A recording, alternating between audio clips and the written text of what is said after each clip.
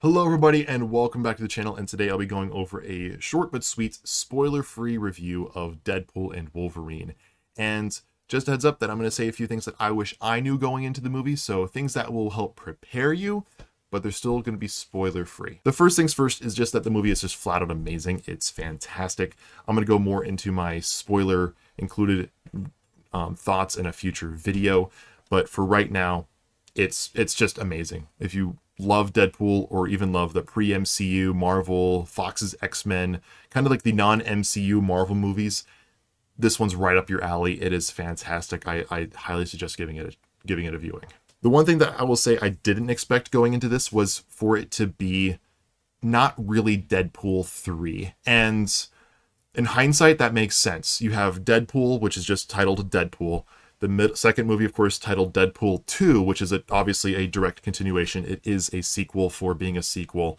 This one is another Deadpool movie, but it says Deadpool and Wolverine in the title. Don't expect Deadpool 3 as much as it is just Deadpool and Wolverine. That's not discrediting it in any way.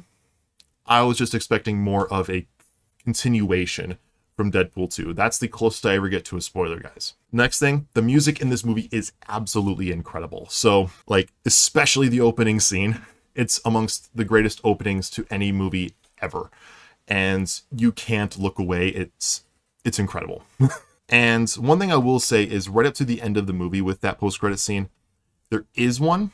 The only thing is that it's not a Nick Fury getting dusted at the end of Infinity War type of post-credit scene it's much more funny still very very worth it i highly suggest checking it still staying till the credits to check it out after a mid credits thing i will say use that as your opportunity to run to the bathroom come back there's still plenty of time in between and you'll be able to catch that post credit scene that's my very short but sweet review of Deadpool and Wolverine. I will go over more details in a future video. So if you want to hear more of my opinions on Deadpool and Wolverine, spoilers included, and comparing it more to Deadpool and Deadpool 2, please subscribe to my channel where I'll be talking about that.